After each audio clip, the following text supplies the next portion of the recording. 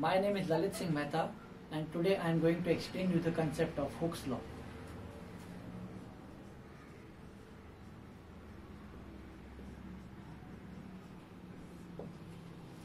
So but before going into Hooke's law, we have to understand some mechanical properties of a material.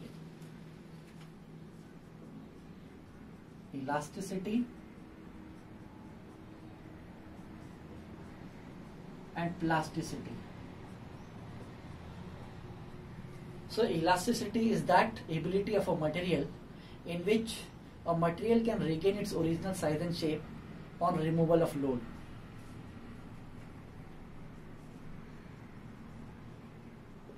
Regain its size and shape on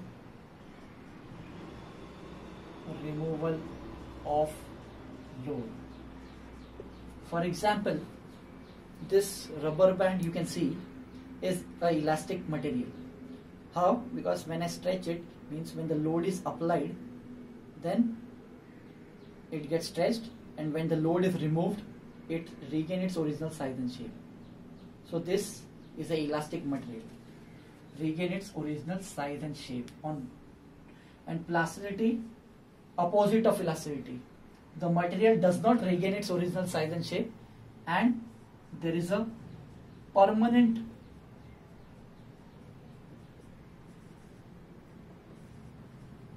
deformation of body.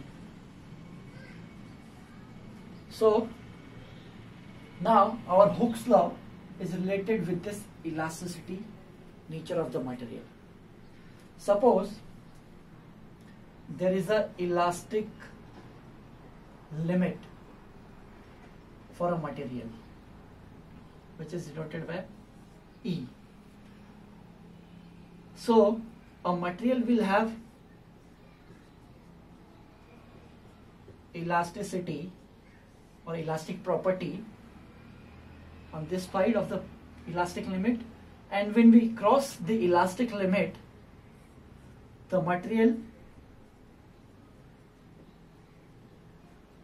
will go into plasticity zone. Correct?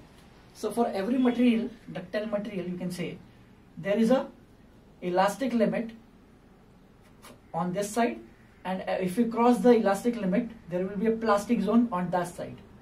So our Hooke's law is related directly related to this elastic limit. So Hooke's law states that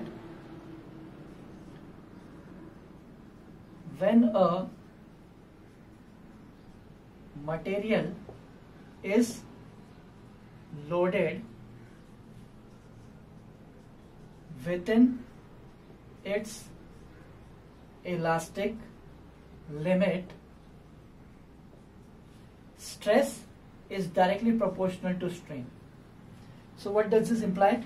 This implies that when a material is loaded up till this point up till this point or this limit there will be elastic property in the body.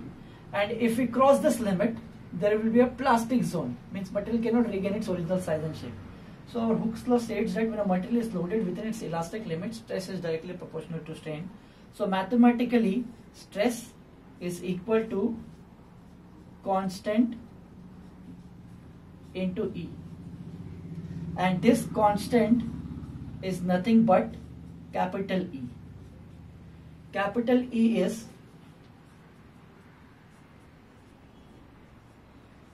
Young's modulus of elasticity.